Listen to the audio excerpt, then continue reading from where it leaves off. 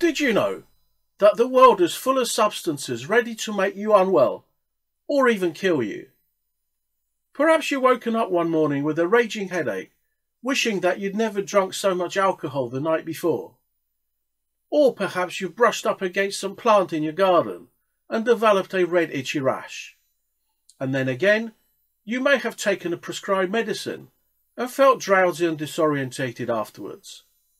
Well, in all these situations, you've just been poisoned. Fortunately, most of such events are just inconvenient rather than fatal, because luckily, your body is rather good at defending itself against most types of poisons in the environment. However, in extreme cases, it may become overwhelmed, in which case you might not be here to watch this channel at all. Welcome to Venena Mundi. My name is Dr. Matt King and I'm the founder, researcher, writer and presenter of this channel.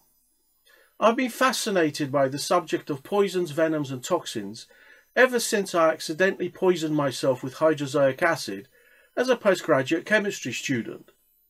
Luckily for me, I survived to tell the tale, but it made me wonder. What are these poisons and where do they come from? Why and how do they work? How much will kill you or make you unwell? And can you actually do anything to make yourself better after you've been poisoned? These and many other questions will be answered on this channel. Along the way, we will look at the world of poisons from many angles. For example, how the art and science of poisoning has grown through the ages, who were history's most prolific and inventive poisoners, and why some poisons have actually helped to understand the workings of the human body.